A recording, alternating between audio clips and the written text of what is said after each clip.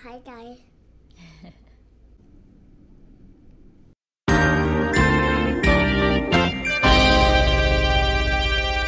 Hi guys! Welcome back to another vlog.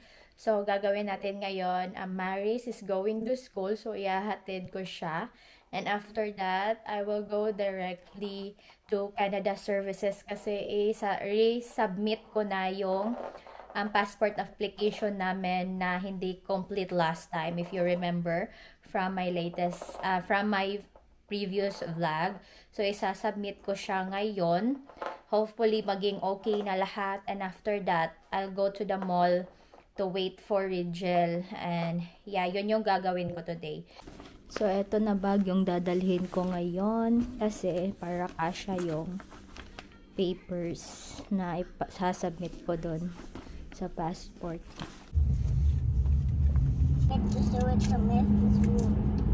So we're here na sa school nila Amaris. Amaris Rain? Can we remove your jacket?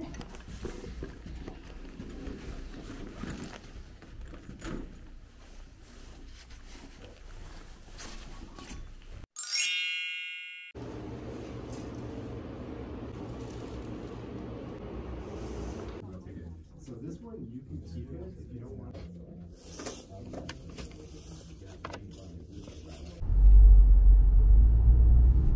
Hello again guys! Yan, hapon na. And finally, natapos ko na yung passport appointment ko. Naging okay na lahat. And we're just waiting na mabalik sa amin yung passport na talaga. So, tapos ko nang na-process. Yung binayaran ko for kids, for Amaris, for child is 50 some 58 something. So, let's just say 60. And yung sa akin naman is 160 something for adults. Yung child is 5 years, yung adults naman is good for 10 years na. So, so akin naman, nabayaran ko is 170.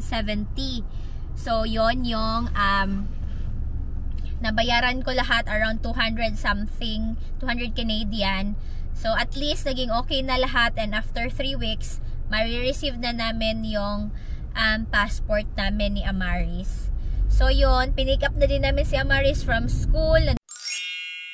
Hello again guys. So it's a uh, few days after yung last clip na nakita nyo. Ngayon is finally pupunta na kami doon sa Glow Lit Bridge and yung schedule namin is hi guys. there. Hi guys. yung schedule namin is 6 p.m. It's still uh, 5 p.m. pa lang pero pupunta muna ako ng mall kasi ipipick up ko na yung pabango. So, di ba last time, sinabi ko na hindi ko nakuha yung full size na pabango nung binigay sa akin ni Rigel na set ng sample. So, ngayon, ipipick up ko na kasi Friday ngayon and sabi ngayon darating yung stock. So, kukunin muna namin yon before kami pupunta ng Glow um, doon sa mga Christmas eme. So, sana meron ng stock ngayon para makuha ko na siya.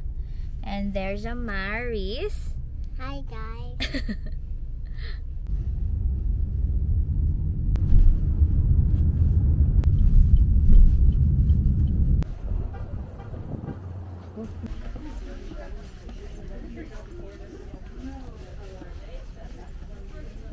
So, nandito na kami sa shoppers, guys. Yan. Kunin ko muna yung pabango. So, nakuha ko na, guys. May stock na sila. So, yun. Okay, but I don't know what it looks like. Because you can open it.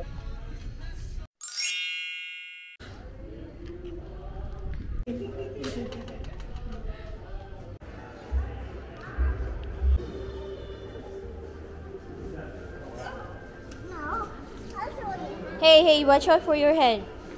Let's go. So, nandito na kami sa loob, guys. Sa loob ng hall. Pero yung glow let bridges nandun pa sa unahan. So, yeah. And there's a Maris.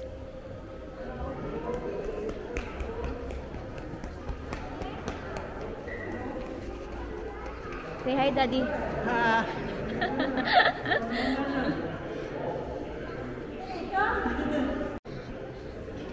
so, yun yung pa-left side. Diyan kami papasok.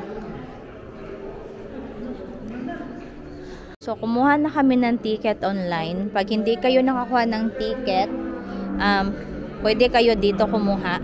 Pero, kumuha na kami ng ticket online. So, yan.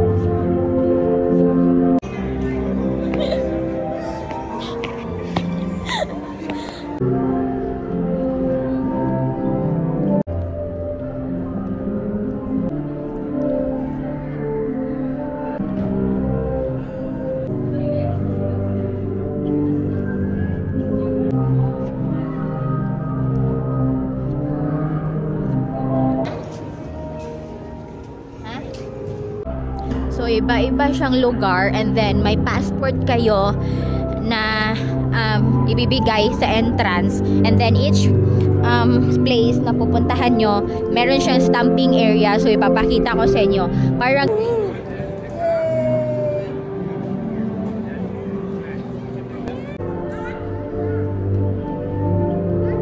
Kanina guys, galing na kami dito pero si Amaris kasi naglaro. So pinalaro muna namin siya. Di- Ito naman is Netherlands. So as you can see, meron siyang mga tulips. Yan. Ganda no? Yan. Yan, may stamp dito. And then, yan. So, naglibot na kami kanina. Bumalik lang ako para pakita sa inyo. Kanina kasi, hindi ako nag-vlog. Kasi nilibot namin si Amaris, tapos naglaro-laro, ganyan. So, super ganda. Ganda, no? Ang cool.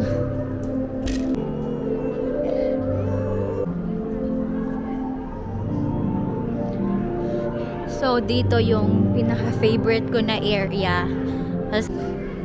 May malaking ornament.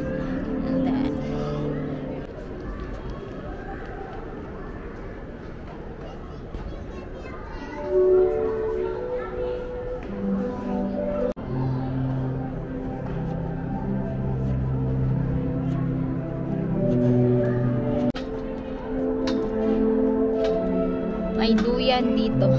Marami to siya around the area. But super nice.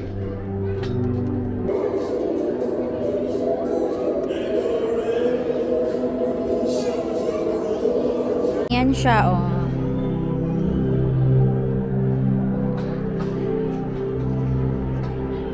Meron pa doon. And then doon. And then doon. Yan. Then kanina nagpicture kami doon. Kanina nandun si Santa. So, yeah. Different is plus. If you want, Okay. Come on!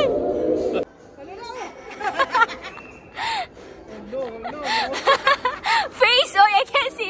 So, bumili kami ng drinks, guys. Yan. May ilaw. Cute. Yun yung kay Tibambi. Kay Daddy.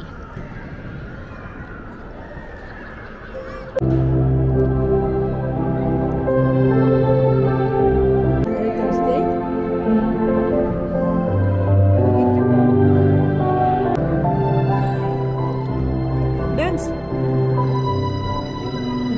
Ulo mo dance. Christmas Day. Makain sa Amaris ng corn dog. Doon nga pala is ah, pambata slide ah, area for kids.